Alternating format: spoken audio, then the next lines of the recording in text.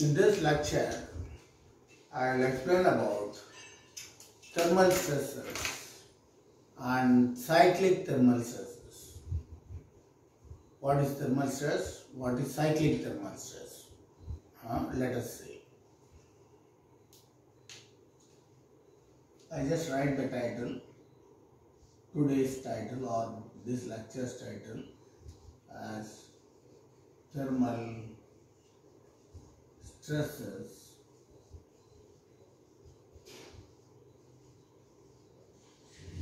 and cyclic thermal stresses.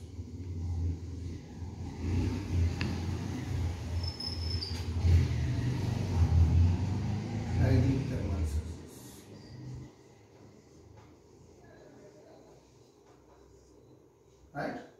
We will see this lecture in two parts. The part one will be thermal stresses, how it is produced, and let us see what is called thermal stress. And the second part is cyclic thermal stress, how the thermal stress cycle is produced. We will see, right? And the effect of thermal uh, thermal stress cycle, right? So first we will see what is thermal stress. Okay, we will see thermal stresses.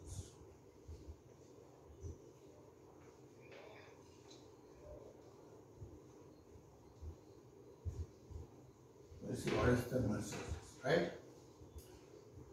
Let us assume a shaft is there, right? A shaft is there like this, right? We will assume the shaft is there like this.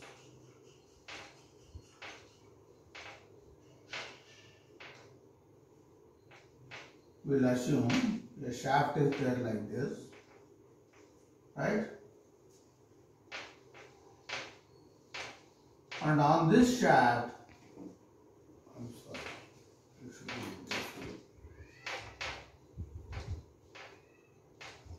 Okay, it is like this, right? Like this, right? So let us assume a shaft is there and a ring has to be inserted over this shaft right? So a ring means how big the ring can be. So the ring can be like this right?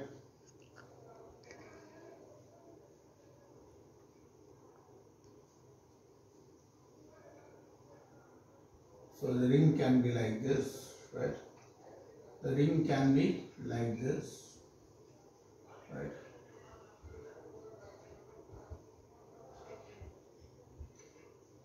a ring can be like this, right? That means the shaft ends somewhere here, right? And the ring is like this, right? This ring, we want to insert it over the shaft, right? This is ring. We want to ring to uh, to insert the ring to insert the ring over the shaft.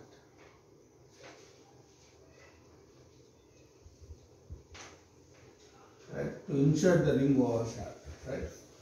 To insert the ring, if the ring ID inside diameter is slightly less than the shaft outside diameter, then the ring will not enter.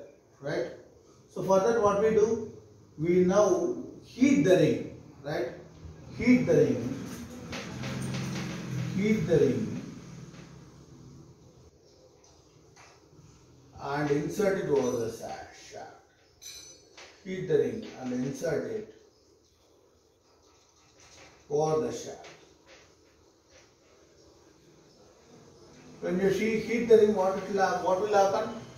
The ring will expand, thermally expand, right?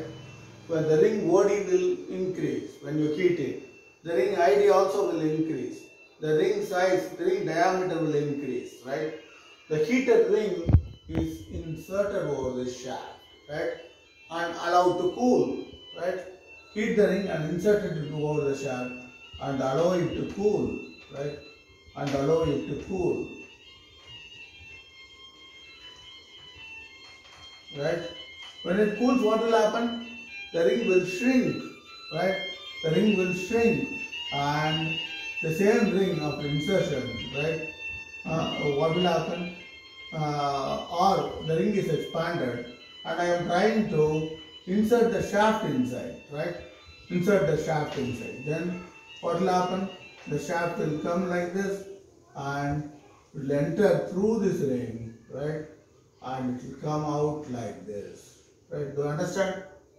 Uh, so the ring will, when it is slowly cools, it will grip the shaft tightly, right? When it grips the shaft, shaft tightly, what will happen? The shaft will not allow you to shrink, right? So because of this, the thermal shrinking is uh, restricted by the shaft, right? So the ring will try to shrink, but it will try to and it will tightly grip over the shaft, and stresses will be induced in the ring, right? What sort of stresses will be induced in the ring? Uh, in the ring, in the ring. Uh, uh, circumferential, uh, circumferential tensile stresses will be induced, right? Circumferential tensile stresses induced, right? Do you understand? The ring in ring, right? Circumferential tensile stresses are induced, right? Whereas on the shaft, what will happen? Circumferential compressive stresses will be induced, right? Because the shaft will be compressed by the ring, and so circumferential compressive stresses will be induced, and the ring, circumferential tensile stresses will be induced. Why this is induced? It is because the ring is trying to shrink, but the shaft is not allowing it to shrink, right? That is why uh, stresses are induced. And why this happens? The temperature is trying to come down as it cools, and and because thermally the the, the heat the heat heat is transferred from the ring to the atmosphere, and the temperature comes down, and uh, it, it grips the shaft very tightly, and because of this stresses are induced, right? Uh, the so whole thing has happened because uh, thermal contraction is not allowed and so stresses are produced. So these stresses are called thermally induced stresses or thermal stresses, right? So this is how, so in the shaft, thermal, compress, circumferential compressive stresses are induced. In the ring, circumferential uh, tensile stresses are induced. Both the stresses are thermal stresses only. Now, I will explain how the cyclic thermal stresses are induced in a boiler feed pipe, right? Let us assume a boiler is there like this, right? This is a boiler, right? And it's standing like this, right? And let there be feed pipe inlet somewhere like this, right? So I draw the pipe in different color. Let us assume the pipe, sorry, the pipe comes out like this, right? The pipe comes out like this, right? And the pipe is coming down like this, right? And let me assume the feed pump is somewhere here, right? This is the feed pump, right? This is the feed pump, right? This is the feed pump is kept somewhere here, right? So this is the feed pump, right? So this is feed pump.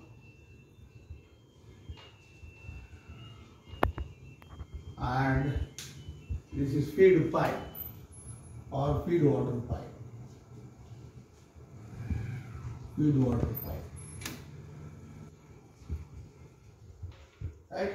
So let us assume the boiler is working, right? And hot water is pumped through this feed pipe, right?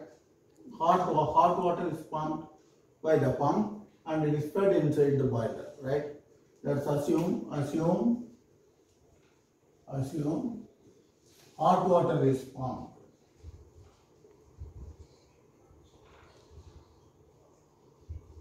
Inside the boiler, into the boiler, right? Into the boiler, right? So what will happen? When the hot water is pumped, the line will get heated and so the entire length of the feed pipe will expand, right? And the length of the pipe will increase. Where this length of the pipe will be accommodated, so it will result in bending this nozzle, right? You understand? So this nozzle will bend and the whole length increase has to be taken care of by bending this nozzle like this, right? So the nozzle should bend upwards like this and the entire pipe length should be accommodated, right? So when the boiler is started, when the boiler is running and the hot water is pumped being pumped inside, what will happen? So the pipe length would have increased and uh, and uh, this nozzle will try to prevent the increase in length and so uh, compressive stresses should have been induced in this feed pipe, right? Now let us assume the boiler is shut down, right? So boiler is stopped, right? Then well, let us assume the boiler cools for some 2 or 4 hours or 5 hours, something like that. So then what will happen? The feed water inside this pipe will get cooled to atmospheric temperature, right? During which time what will happen? The length of the pipe will once again come back to its original length, right?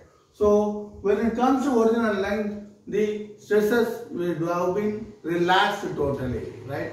So when the boiler is started, slowly the compressive stress would have increased, reached a maximum, and when the, the stresses would have been present for quite some time, right? And the boiler when it is shut down, the stresses would have come down, right? And it totally, uh, the stresses would reached zero uh, when, that uh, the whole boiler everything comes to room temperature, right?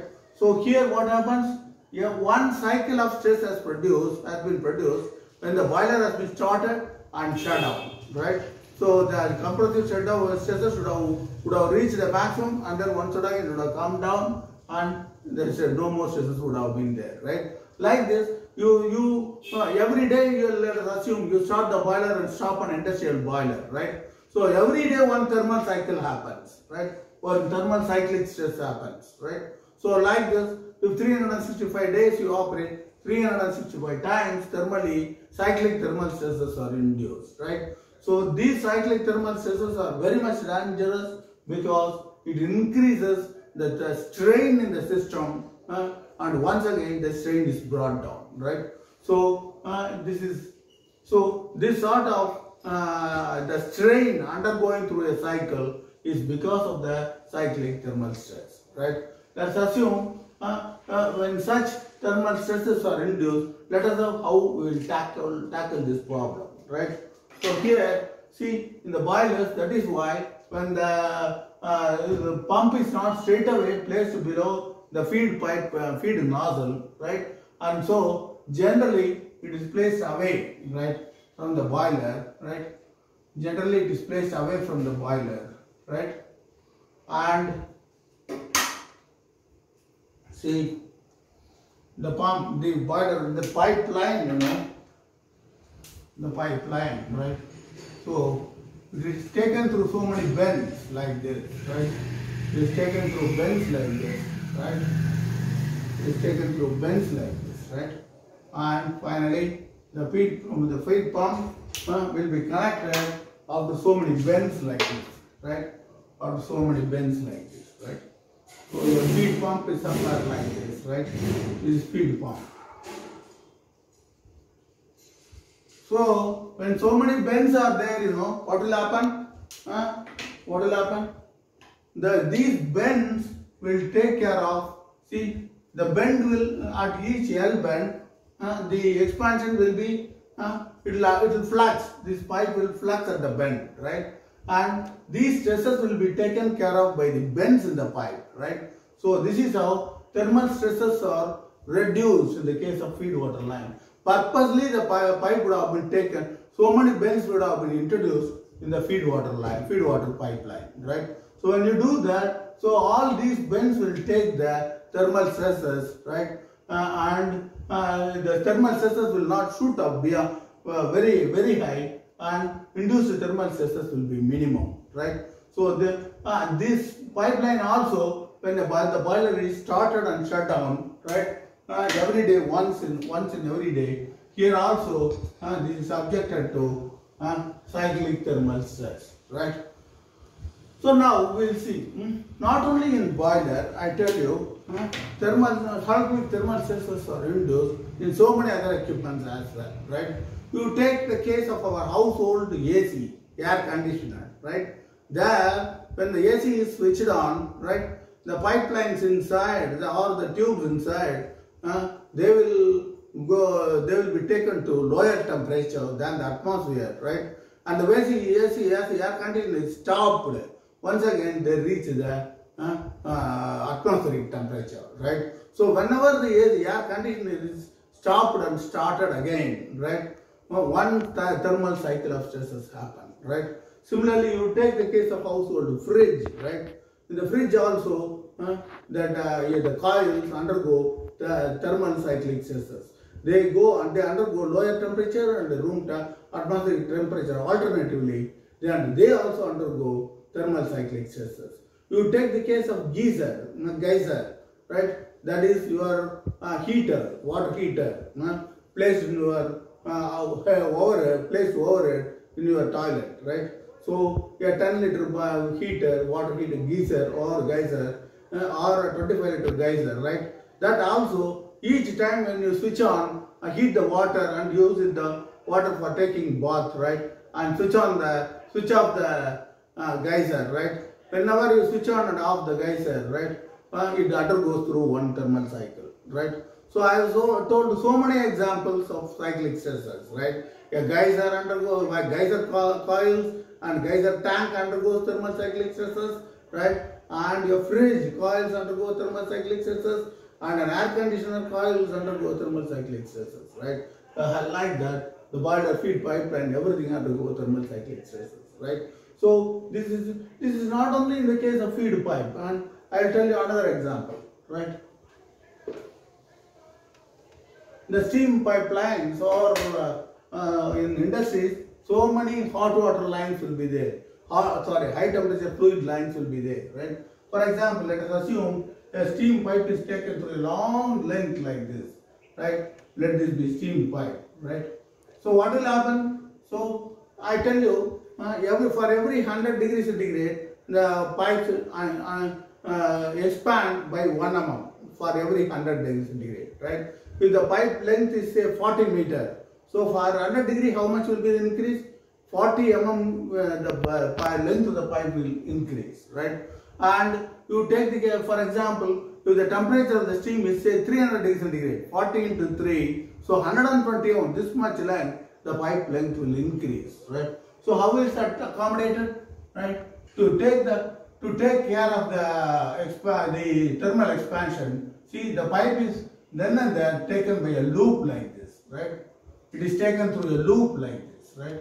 The- Then and there it is taken through a loop like this, right? So these loops, you know, uh, these uh, it will bend here in the loop, right? And it will take care of the thermal expansion, right? So these loops, loops take care of thermal expansion, right? Take care of thermal expansion. Thermal expansion, right? Right? These loops take care of thermal expansion, right? And I tell you one more example, right? So uh, this is regarding steam pipe, right? I'll take the case of ducts, right? Flue gas ducts, big ducts, air du- hot air ducts or flue gas ducts, right?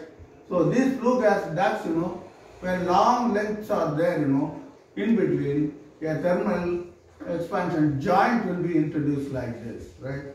So thermal expansion joint will be introduced like this, right? Do you understand? Huh? So thermal expansion joints, right? So these joints will be like this, right? So it will be like this, right? The duct will continue like this, right? See, uh, for example, if the duct is like this, a thermal expansion joint will be like this, right? Like this, a joint with a V-shaped, uh, uh, this one, uh, thermal expansion uh, joint will be introduced, right? So when the whole duct uh, uh, expands like this or compresses like this, this V part of it, you know, it will shrink or expand and take the differ, uh, length variations, right? Due to due to temperature, right? This is your this uh, this is your thermal expansion joint, and this, the same thing is this. This is thermal expansion joint, right? So these thermal expansion joints, you know, they go undergo cyclic stresses, right? Now, and here also these loops, you know, steam pipe where it is made as a loop, you know, these loops are also undergoing thermal expansion stresses, right? So when the steam is going high, hot steam is going inside, uh, the therm here, this whole pipe length will increase, and so they, these pipes will bend like this, right? It will bend like this and take the expansion, right? And when the steam is uh, stopped, uh, and when the industry is closed in the night time or something like that, and when the, the pipeline comes to atmospheric temperature, once again it will reach the original position, right? Like this, thermal cyclic stresses are induced, right? These thermal cyclic stresses are very, very dangerous, right? And uh, in a power plant, if you take uh, the entire boiler system, right, has to generally operate throughout 365 days continuously, right? Whereas if it is uh, stopped for maintenance or something like that, the whole power plant boiler, everything ducting, right, undergoes one thermal cyclic stress, right? So such a huge system when it undergoes thermal cyclic system stresses, it is very, very critical, right? So even an industrial boiler, it may not be, it may be less critical, whereas in the power plant, it's very, very critical, right? So too often we should not stop the power plant and start the power plant, right? Because the whole uh, system will be stressed and strained, right? So this is how uh, I've given a uh, complete uh, explanation about cyclic thermal stresses uh, and, uh, and, uh, and the effect of thermal cyclic stresses, right? And the effect of thermal stresses also. Uh, I have also explained to you how we can minimize thermal stresses by adopting loops like this or thermal expansion joints like this or inducing bends, introducing bends like this, right? Like that. I have explained to you how we can manage thermal stresses or minimize thermal stresses, right? And only thing to avoid thermal cyclic stresses is not to too often start and start and stop the system, right? So it is better to all thermal system, high temperature systems, it is better that we run it continuously throughout the year to avoid unnecessary uh, cyclic thermal stresses induced in it, right? Thank you.